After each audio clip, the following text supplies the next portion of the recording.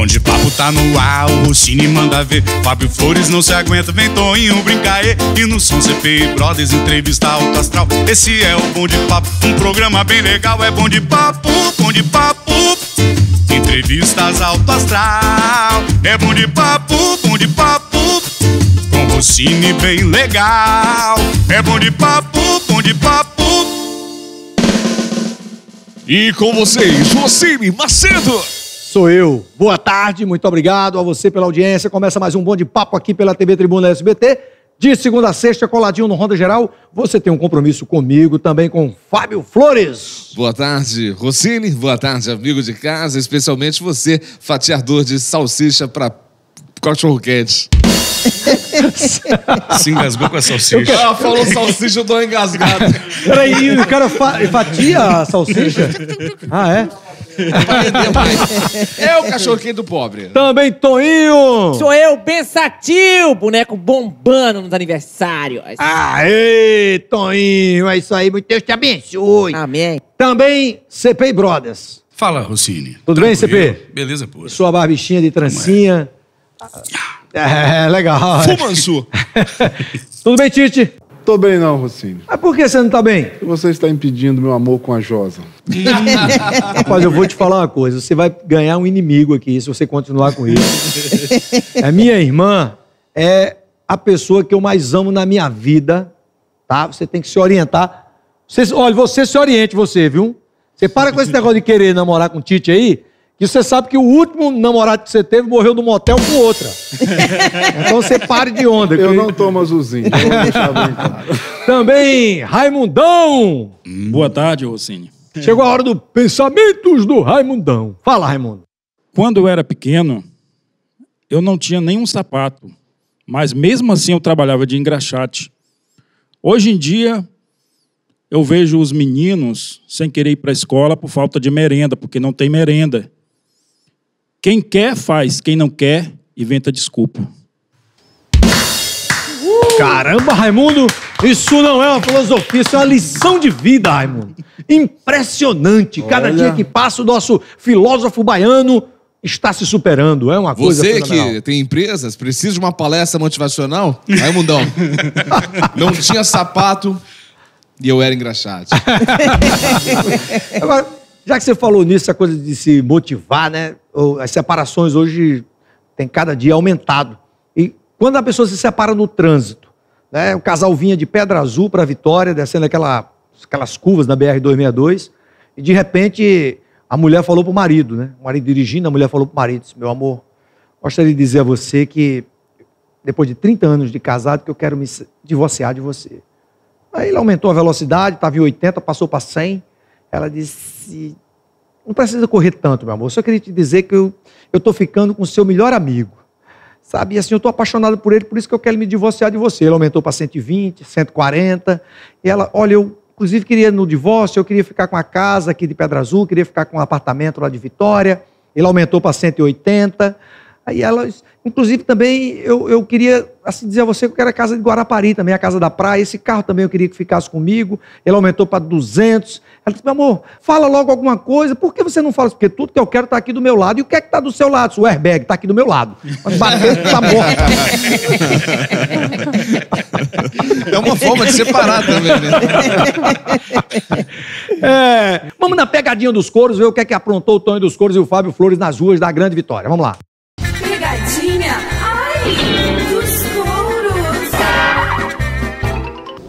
Cunha, menino, aqui é mais uma. Pegadinha dos coros. Hoje a gente tá aqui com o seu Silveira, 88 anos, tá fazendo filho nos outros ainda. É, vamos ligar pra filha dele, Nardelli, e vamos dizer que seu Silveira engravidou minha irmã E não quer pagar a e não quer pagar a pensão. Oi? Você é filha de seu Silveira? Sim. Eu sou irmão da Virgínia. Ela, ela tá pra ter neném e ela ficou grávida do seu Silveira.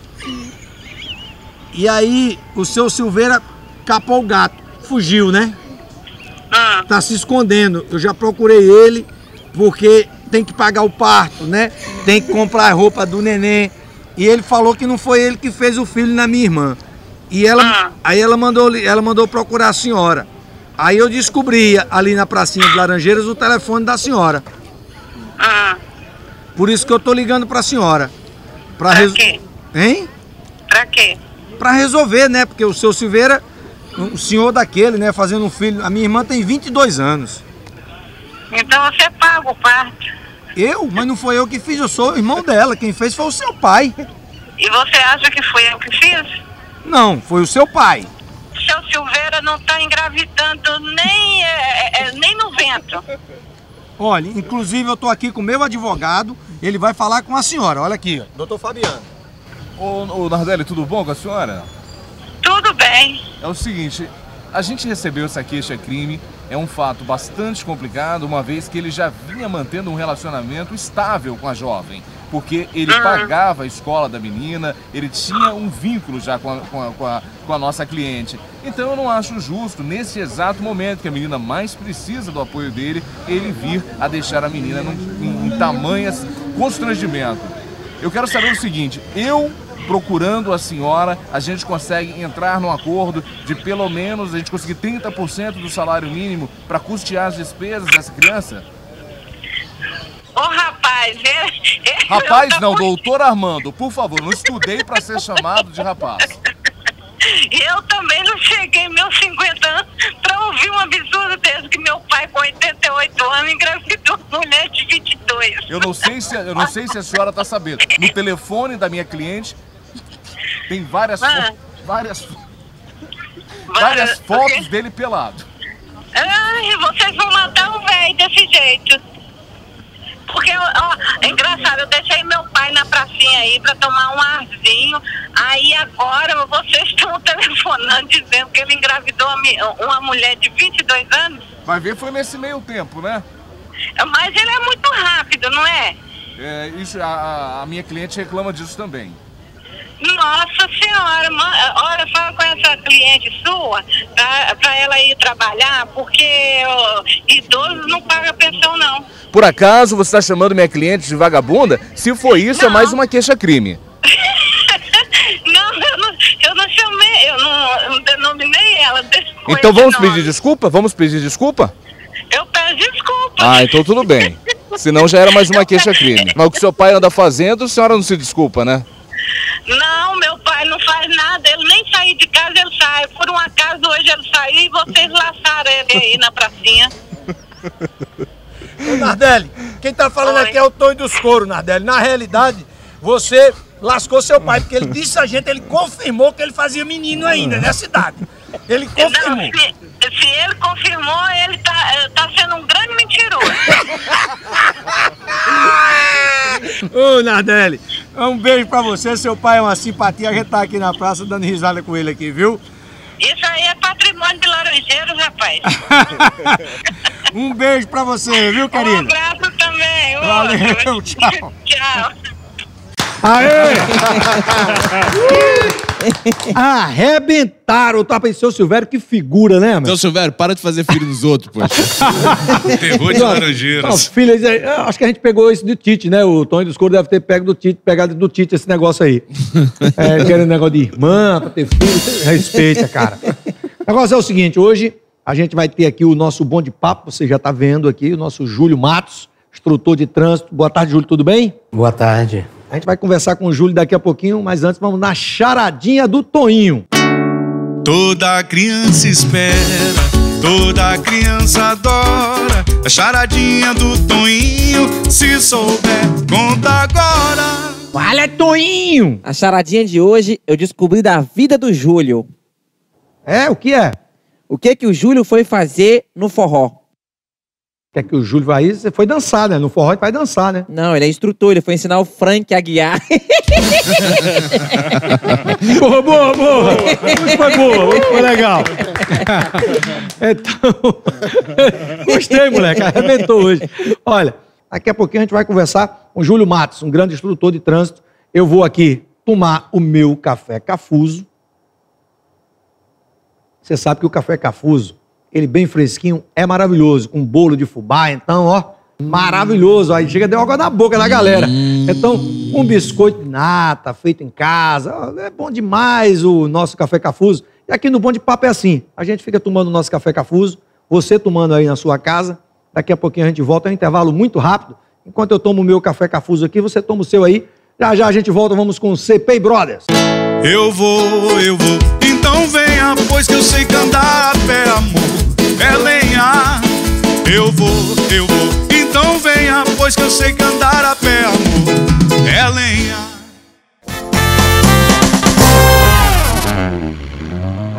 Chegou a hora da gente falar da da casa financeira, Toinho. Epa! Você aí está precisando de uma mãozinha para acertar a sua situação? Aqui está a solução. Empréstimo pessoal da casa. É aquela ajudinha que você precisa para organizar as suas contas e a sua vida. Com ele você pode quitar prestações, fazer compras com tranquilidade e pagar todas as suas contas. É um alívio em tanto, né? E para contratar e pagar é mais fácil ainda. Afinal, com o empréstimo pessoal da casa, você tem dinheiro na mão e na hora e pagamento facilitado no cheque ou no carnê com prestações que cabem no seu bolso. Quer uma mãozinha para resolver sua situação? Ligue agora mesmo para esses números que estão aqui na tela e conte com o empréstimo pessoal da casa. Na Grande Vitória, Toninho, qual é o número? 4002-3212. E nas demais localidades? 0800 039 1212. Da Casa Financeira. Mais crédito, mais confiança. No toca-fita do meu carro, uma canção me faz lembrar você.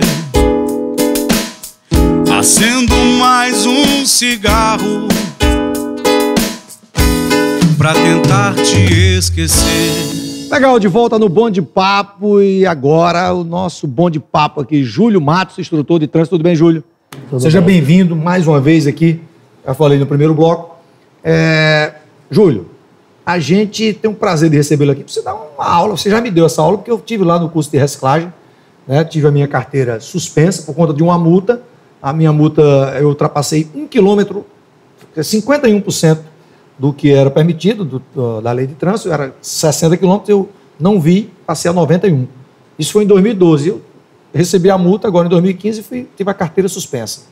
É, tem gente com é, aquele filho do, do médico lá do Rio de Janeiro com 200 e poucas multas, não foi suspensa a carteira, né? Não dá para entender. É, mas é, o que acontece aqui no Estado hoje, né, eu acho que é um momento de mudança na história. né? Eu acho que o Estado tem batido forte com as suspensões de carteira e eu acho que vai começar a mudar comportamento. Eu acho Mas que isso o não, era só, no Brasil... isso não era só com o doutor Fabiano Contarato, não? Depois que ele saiu, não, Não, não. não vai voltar. Apesar, apesar da imprensa né, ter sempre colocado só o Contarato como aquele que vai resolver né, o problema do Detran, do trânsito, ele fez um bom trabalho, começou a biometria, mas vem, vinha sendo feito já esse processo de suspensão das habilitações. Então, ele é um trabalho que já vem acontecendo há anos. O, o interessante é que você falou um negócio lá no curso, quando eu fiz o curso com você, que é, as pessoas têm vergonha de dizer que fizeram o curso, né? Ninguém Sim. tem coragem de dizer. E eu sou uma pessoa pública e estou dizendo aqui que eu passei por lá, fiz o curso, até porque eu tentei me esconder, né? Cheguei lá de leve, devagarzinho, sentei lá no cantinho, aí você olhou e disse: já teve senador aqui, já teve deputado federal, só faltava humorista. Olha ele aí, ó. Aí, pô, aí você queria que eu, eu me escondesse como? Eu digo, ah, então eu vou publicar logo nas redes sociais Você aqui. não ia ficar omisso, né? Você não ia ficar omisso. Você não ia aguentar ficar omisso. Aí passei a reciclagem toda contando piada lá também, né? Foi, mas olha só, o que é importante nisso tudo? Você pôde perceber dentro da turma como todo mundo chega num curso e quando termina, como é que é a mudança de, de pensamento, de comportamento. Então você começa a perceber que as pessoas realmente param para refletir, que é o que nós precisamos, na verdade. O objetivo do curso é trazer a reflexão para os condutores de mudança de comportamento. Por exemplo, né, aquilo que eu comento no curso, a questão de velocidade das vias. O condutor não observa a placa de velocidade. É, você comentou uma coisa, é, você- o seu curso é dali na, na Fiorote, que fica ali na, na, Isso, da, Fiorote. Simonada. E, e aí você comentou uma coisa que eu mesmo não tinha observado, ninguém do curso tinha observado. Que aquela avenida, a velocidade permitida é 40 km. 40 km por E hora. as pessoas passam a 100, a 80, a 60, não vê que... Isso ninguém, na, ninguém na percebido. sala acertou a velocidade da via. É verdade. né? Você Até uma- porque as pessoas moram próximo, mas nunca pararam para observar a sinalização, porque conhece o caminho. Outra Essa é a coisa- maior dificuldade. Outra coisa que você observou aqui em off, que é, de Pedra Azul para cá, por exemplo, de Venda Nova para cá, aí daqui para lá, ah, só tem duas placas de 80 km. É, De 60 Una- km de quase a viagem toda. Viana, Ah. duas placas de 80. E as pessoas andam a 100, 120, né? Não- e aí é, não é uma das rodovias que ferrar. acontece mais acidente, né? Sim, porque ela é super perigosa pelas curvas, né? Claro que a gente sabe, os comportamentos são perigosos. A rodovia pode oferecer o risco que for. Se você tomar as cautelas necessárias, você vai evitar o acidente. Mas, infelizmente, a maioria das pessoas confiam na máquina. E Agora, carro, Júlio- eu sempre falo, é papel. Agora, Júlio, me diga uma coisa. água, quem, fica pancada. mais, quem fica mais reprovado no exame de trânsito, assim, no exame da carteira de, de habilitação? É o homem porque acha que sabe tudo ou a mulher porque acha que não sabe nada?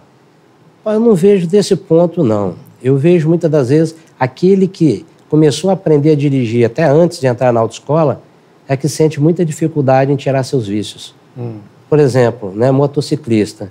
Sabe andar de moto, anda para cima e para baixo, aí quando vai tirar a carteira, É só fazer faz aquele- o trajeto Ah. todinho sem usar a viseira. Aí reprova. Aí quando ele, termina, é, né? ele terminou, ele não tem o hábito de usar a viseira, Mas é até, até, reprovou. até bom a gente falar isso, porque a viseira, você pode perder a carteira se você, é, um A guarda de trânsito da pegar você sem a viseira, né, com a viseira aberta. Você pode, inclusive, perder seu olho também, né? Porque pode Sim. entrar uma faísca, uma pedra, uma coisa que pode furar teu olho O você grande perder a visão. objetivo né, do equipamento de proteção, você numa moto não tem muita proteção. Hum. Capacete é uma proteção mínima, entendeu? O, o Fábio, inclusive, tem um, um detalhe de uma multa que ele levou aí, que eu queria tirar essa dúvida com você, que entende tudo de trânsito. O Fábio disse que levou uma multa porque estava com o celular no meio das pernas. Não, ah, tá escrito no- na notificação. É, o celular no meio da perna. Onde esse guarda estava olhando para ele perceber. Ou, ou, ou- ou eu lhe pergunto, por que, que você estava com o celular no meio das pernas? Estava esperando que o celular vibrasse no meio das suas pernas? A ideia é justamente essa. Vai receber, recebe uma mensagem daquela tremida, cai. Não é bom? Acho que o guarda viu já estava com aquela má intenção de olhar assim e dizer: esse cara tá com má intenção de querer pegar o celular e ficar no WhatsApp aqui, né? Pô, no meio das pernas, né? Podia Não, estar mas no pode dar multa. Existe isso lá no código de trânsito, Na verdade, assim, ele- celular ele- no meio da perna. Ele observou que o celular está no meio da perna, mas o que ele colocou foi o uso do celular. Não, ele falou que só que colocou- estava no meio da perna. Não, mas a multa, não se tá- você olhar o código da infração, ele não vai estar lá celular no meio da perna. Ele é uma observação que ele fez no auto de infração dele, dizendo que ele viu o celular no meio da perna quando você estava fazendo. Ele entendeu o quê? Que você escondeu o celular ali ao perceber a presença dele. Mas se é só um gesto de carinho para É. comigo mesmo, Infelizmente, né? Aí vem a observação da autoridade de trânsito, né? O entendimento dele. E aí, mesmo se ele falhar no entendimento dele, você vai ser multado. mas eu tenho amigos na macumba. A gente vai fazer o seguinte: daqui a pouquinho tem mais perguntas aqui pro Júlio para a gente tirar as dúvidas sobre educação no trânsito, claro, para você evitar, nós evitarmos de acontecer acidente com a gente. E é muito bom a gente conversar com quem entende do assunto. Falar nisso, eu queria convidar você para assistir nesta sexta-feira o show Improrriso.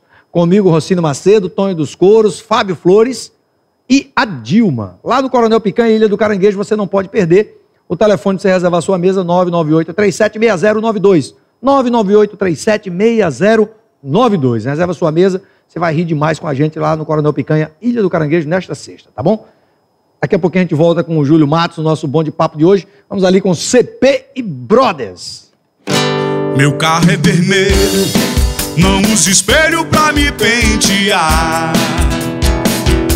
Botinha sem meia, e só na areia que eu sei trabalhar. Cabelo na testa, sou o dono da festa, pertenço aos dez mais. Se você quiser experimentar, sei que vai gostar. Eu sei,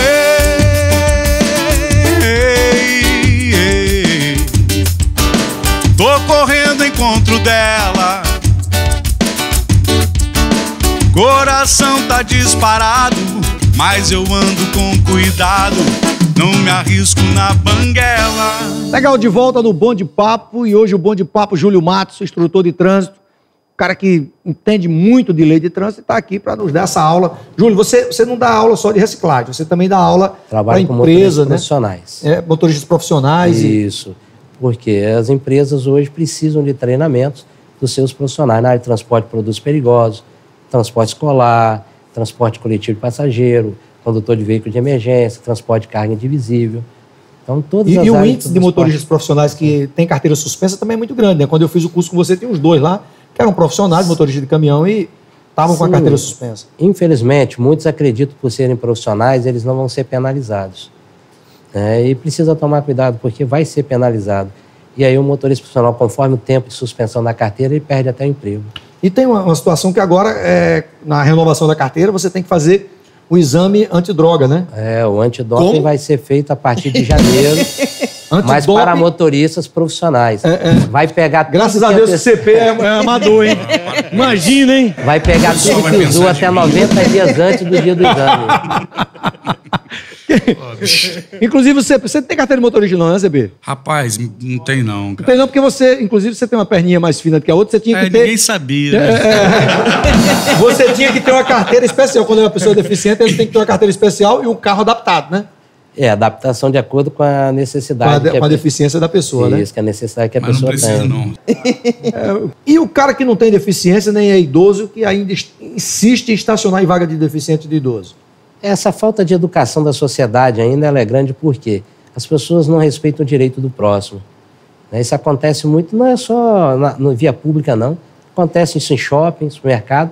As pessoas sempre falam, tem muita vaga para cadeirante, tem muita vaga para idoso. Mas vai lá ver a quantidade de vagas que existem. São poucas. Mas eu fico muito inveja dos idosos, porque as vagas dele é tudo pertinho, as nossas tudo longe. Mas é assim que tem que ser. Então fica velho, desgraçado. Mas assim Quer dizer, que deixa precisa de pintar ser. o cabelo, Falta porque você muito já é velho, né? Falta muito. Para de pintar. da sua idade. Vamos Mas fazer o assim seguinte, precisa vamos, ser, vamos ver o né? que, é que aconteceu, o que é que o Fábio Flores e o Tonho dos Couros aprontaram nessas vagas de idosos e de deficientes. Vamos lá. Cunha, menino, nós estamos aqui, Fábio, eu, eu e Fábio. A gente vai ver o respeito ou o desrespeito que as pessoas têm pela vaga de deficiente. Vambora. Inclusive, a gente vai ver aqui qual é a dificuldade que o deficiente tem, para pagar o parquímetro. Olha aqui, Olha lá. ó. Tem um deficiente estacionando aqui. Vamos lá. Esse eu conheço. É o Betola. Muito obrigado. Tudo bem? Tudo bem, muito obrigado. Betola, você é deficiente, né?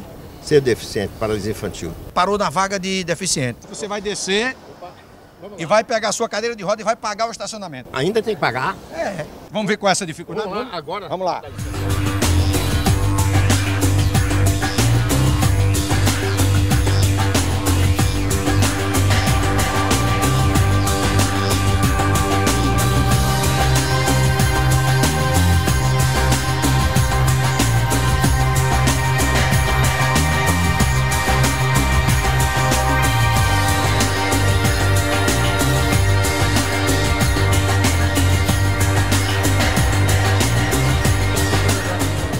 Consegue al- alcançar aqui na moeda não, né?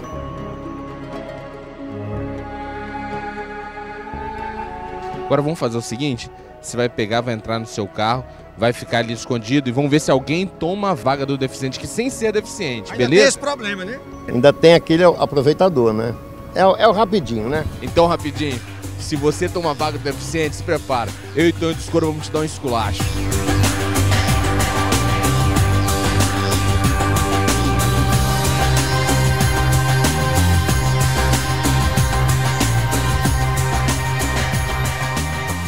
Olá, tudo bem? Você, você tem algum tipo de deficiência? Não. Assim, você sabia que você parou numa, numa- num lugar que não é vaga e encostado numa vaga de deficiente? Sabia. Tem um deficiente dentro do carro. Como é que ele vai sair, fazer para sair de dentro do carro dele? Mas você tá me filmando sem eu permitir? Parar, no, parar aqui também não pode, né? Também tá errado, e aí? Vamos desempatar? Você sai e a gente para de filmar. Vamos? Fazer um acordo? Ela não ficou feliz, não, Não, hein? ficou não. ficou bem chateada.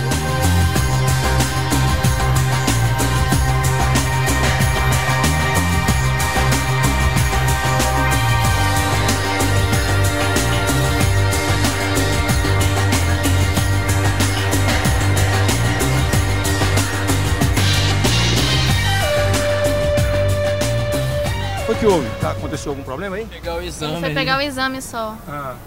Aí você parou na vaga de deficiente? Não, eu não parei, eu só fui pegar o exame. Parou. Parou que a gente viu. Aí chegou um deficiente querendo estacionar. E aí? Como é que faz?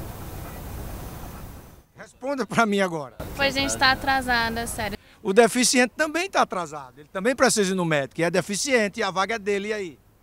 Você poderia olhar na câmera ali e dizer, gente, não cometa o mesmo erro que eu cometi? Gente, não cometam o mesmo erro que eu cometi. Vamos aqui, ó. É pegar. cê- cê- não, eu quero investigar você, rapaz. Eu só que. Não, não entra agora, não, não entra agora, não, não entra agora, não. Deixa eu- Você tem problema, você tem problema nas pernas? O rapaz, é- ele, você é deficiente, meu amigo, é? Ei, você é deficiente, é, meu amigo, é? É defi... Não, sem verdade. Fala, você é deficiente? O cara já fica bravo, rapaz. Fica bravo, não, rapaz. Eu só tô perguntando que eu queria lhe ajudar se você fosse deficiente. Por favor, cara, só isso. Não, eu só, eu só, quero, eu só quero saber se você era deficiente. Olha, passou por cima do meu pé aqui, ó. Olha. Olha aí. Passou por cima do meu pé. Ó. Estacionamento rotativo pago. Exclusivo deficiente físico. É exclusivo para deficiente físico. Você pode estar aqui, né? E tem que pagar. Que fique claro. Pessoal que tá cobrando do deficiente não dá condição do cara chegar até o lugar que ele tem que pagar e ainda cobra. Isso é uma lei sem vergonha. E mais sem vergonha ainda é quem fica com as poucas vagas destinadas aos deficientes. Vamos ficar ligado aí, gente. A vida dessa galera não é fácil, não. Se liga aí. Vou levar esse deficiente aqui.